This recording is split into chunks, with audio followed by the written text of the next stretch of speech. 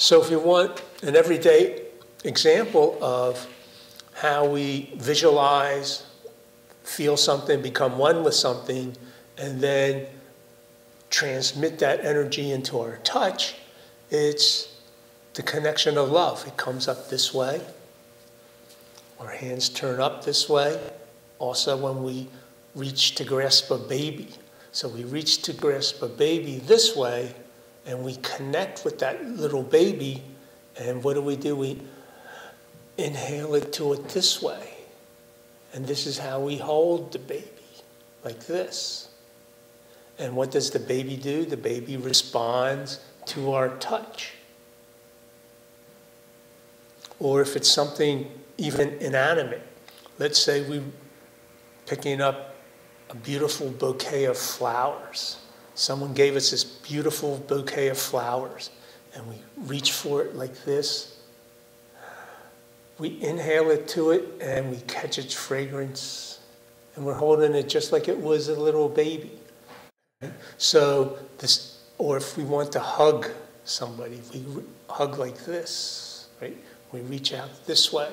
Nobody that wants a hug walks around like this, right? With these muscles, this is not going to get you any hugs, right? And you, we don't grab a baby this way, you know.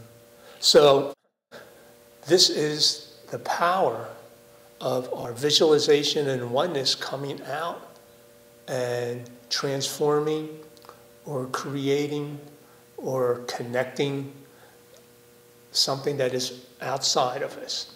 So this energy is created and is created all the time.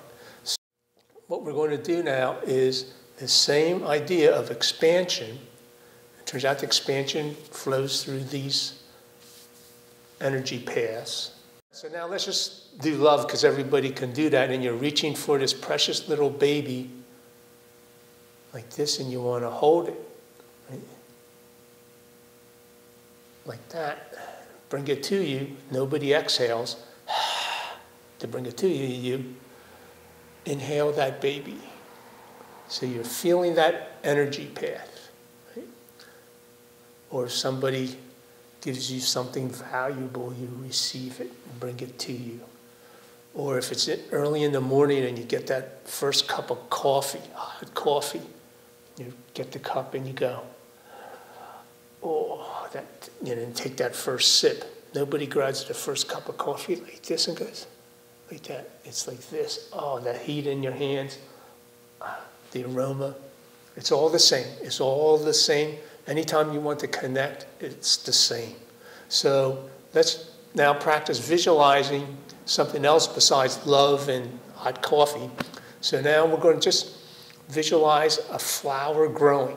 If we're an artist, we want to become that flower and it's growing. So we visualize it. I'm a flower, I'm growing. I take a couple breaths to relax. Now, on my next in breath,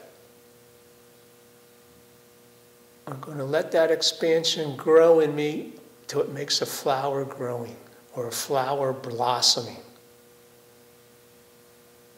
And my hands capture that energy. And it, you'll notice if you visualize a different type of flower, maybe it's pansies, and they're all on the ground growing this, of sunflower.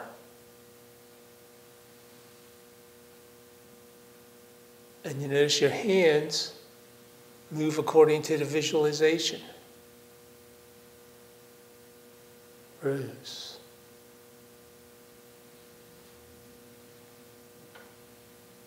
Pick some flower that you enjoy. Now we'll visualize fireworks. You'll notice, depending on the type of fireworks, your hands are going to change.